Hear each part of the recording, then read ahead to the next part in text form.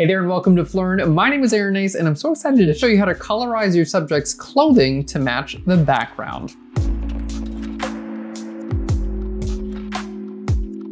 So to start with, I wanna go ahead and make this color in our subject shirt match the background color just a little bit better. So we've got a couple of different ways to do this. We're gonna start with a hue saturation adjustment layer.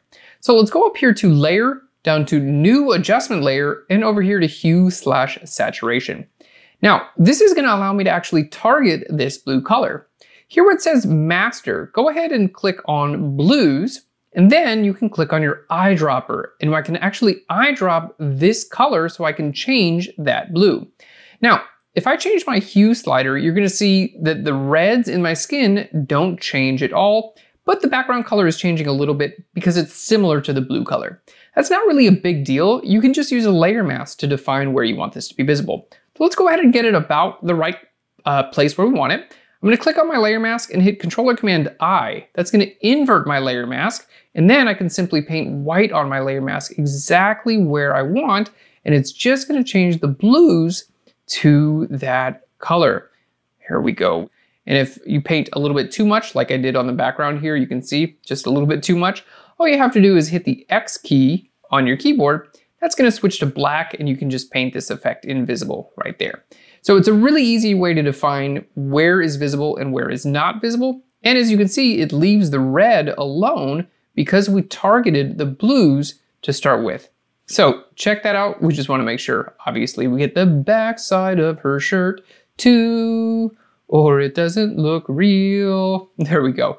Let's go back to our tool here. We'll go to our cyans and then I can continue to adjust them until they really show exactly like how we want. And already you can see our subject starting to match the background. It looks like the clothing was picked out just for this wall.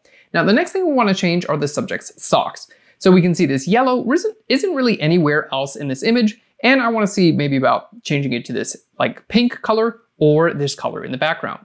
So I'm gonna start off by creating a new layer and selecting this yellow. We can do that by going up to select and then down here to color range.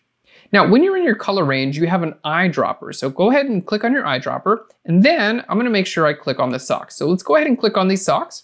There we go. And anything that is similar gets selected. In this case, the lighter areas are selected more and the darker areas don't get selected. Now, that's actually pretty good. So let's hit okay. So the sock areas are selected right now.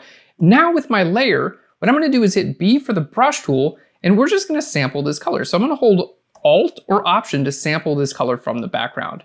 Now, we're just gonna simply paint right over top of these socks.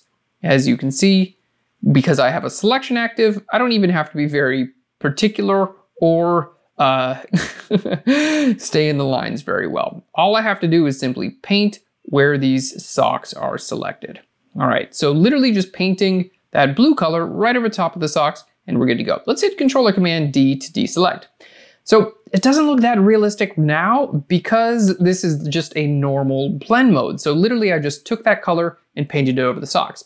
But the next thing we're gonna do is change the blend mode of this layer to color, and it's gonna make it the same color as the background. So to do this, you can simply click right here on your blending modes. From normal, go all the way down to the very, very bottom and go to color. And we can see now it looks a lot more realistic. It's actually just the same color. Now, if you paint a little bit too much, not a big deal. Go ahead and click on your layer mask icon. There we go. And then you can simply paint black on your layer mask where you don't want this to show up. In this case, it was over top of our subject's legs. Just a little bit. There we go. We're just painting black on the layer mask.